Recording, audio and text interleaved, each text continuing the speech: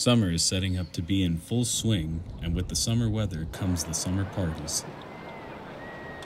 Party at the Pointe was put together by the city of Santa Clarita in order to celebrate the city and its residents by offering attractions, entertainment, and a platform for local vendors here in the city. All this to alleviate the residents of the hardships we've endured over the last couple years. When given the opportunity to speak to a couple guests, they had this to say.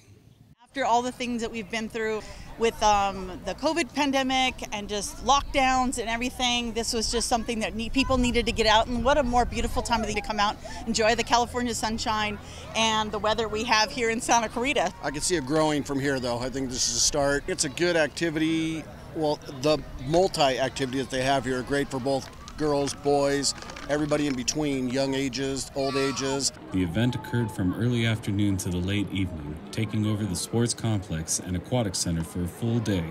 We really wanted to get an event together from the city for the residents that really is just a kickoff to the summer here in Santa Clarita. We've spent the last two years of restriction, so we wanted to highlight what there is to do in Santa Clarita, the different activities that we have at the sports complex, the different facilities that we have, the amenities for the residents of Santa Clarita, and just take one day to forget about everything else, come together and have a great time.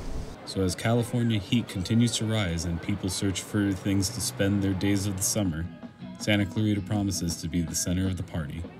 What we'd really like the community to know is just we are here for you. We are planning things for the, the, community.